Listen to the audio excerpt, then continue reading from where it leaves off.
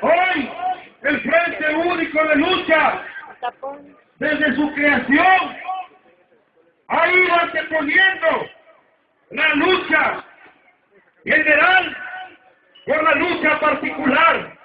Y eso lo hemos estado dando a partir de las diferentes movilizaciones y acciones que hemos estado haciendo conjuntamente con la Coordinadora Nacional de Trabajadores de la Educación. Hoy hacemos ese llamado a David Fuego Monteagudo y a aquellos diputados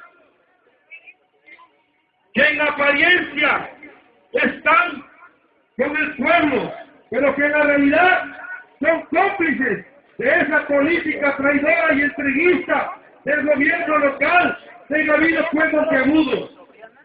Por eso hacemos ese llamado para que en lo inmediato se una mesa de negociaciones y podamos ver la justicia para nuestros compañeros y la libertad para todos los presos políticos. Ese es el asunto que nos está llamando y que debemos fortalecer, que debemos seguir organizándonos